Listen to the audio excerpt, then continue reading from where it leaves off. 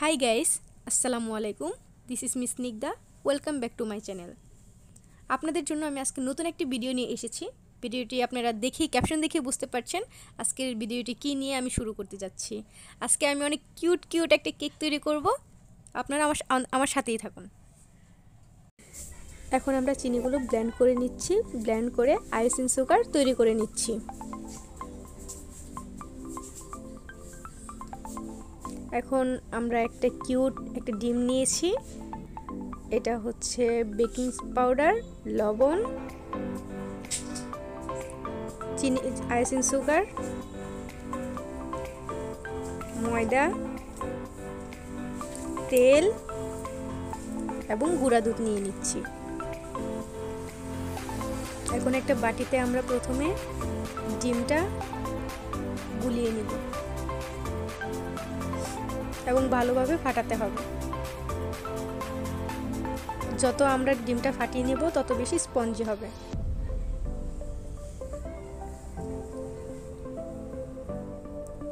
ডিমটা ফাটানো হয়ে গেলে এখন আমরা সব কিছু অল্প অল্প পরিমাণে দিয়ে আস্তে আস্তে মিক্সড করতে হবে। এখন প্রথমে চিনি দিয়ে নিচ্ছি। সব জিনিস আমরা অল্প অল্প পরিমাণে দিব এবং আস্তে আস্তে মিশিয়ে নিব।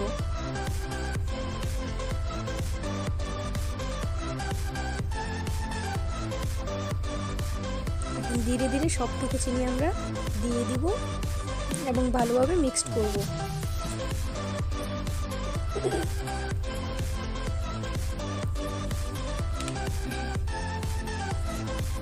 এখন দিয়ে দেব তেল। এবং তেল দিয়ে ভালোভাবে মিক্সড করে নিতে হবে।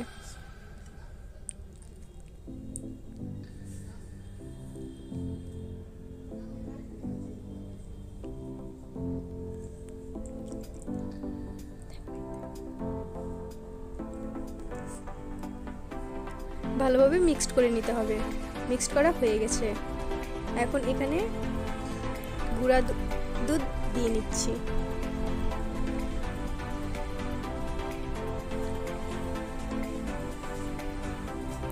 গুঁড়া দুধটা ভালোভাবে মেশাতে হবে।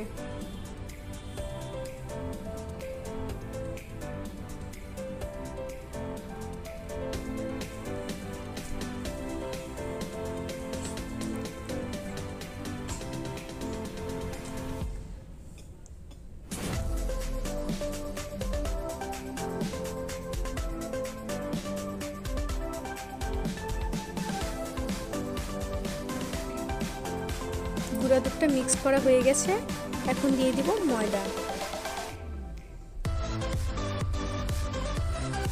সব কিছু অল্প অল্প পরিমাণে দিতে হবে এবং ভালোভাবে ধীরে ধীরে মিক্সড করতে হবে।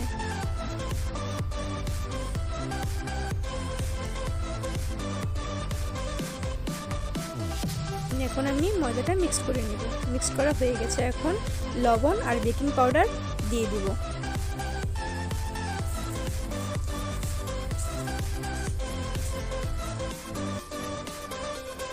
সব কিছু আমরা পরিমাণ মতো নিয়ে নেব এবং ভালোভাবে মিক্সড করব।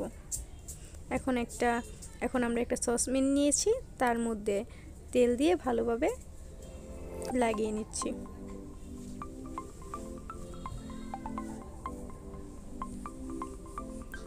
এতে কেকটা লেগে ধরবে না এবং সুন্দরভাবে উঠে আসবে।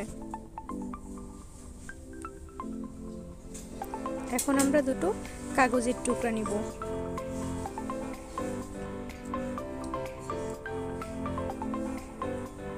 এতে কেক নিচে লেগে ধরবে না।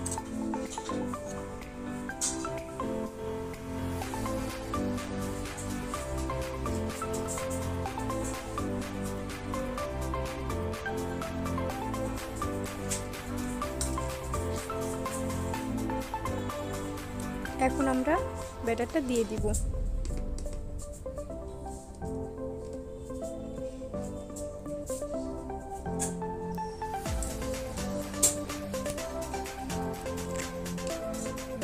এখন আমরা কিশমিশ দিয়ে নিচ্ছি এবং আপনারা চাইলে ড্রাই ফ্রুট দিতে পারেন।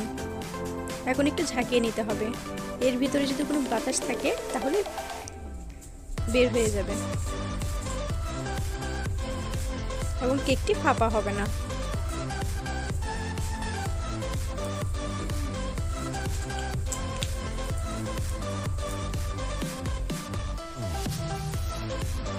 এখন একটা পুরনো কড়াই নিয়ে নিচ্ছি তার মধ্যে স্টেন দিয়ে নিচ্ছি কোয়াচে আছে চুলায় বসিয়ে দিচ্ছি Five minutes later.